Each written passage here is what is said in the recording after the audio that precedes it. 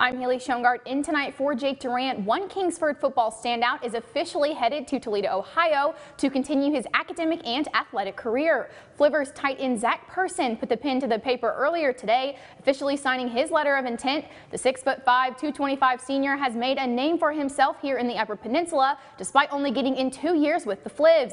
Person racked up numerous awards over those two years, including a two-time first-team All-State honors for wide receivers and two-time All-UP wide receiver honors, just to name two. Congratulations, Zach. We wish you the very best of luck, and we will be cheering you on every step of the way.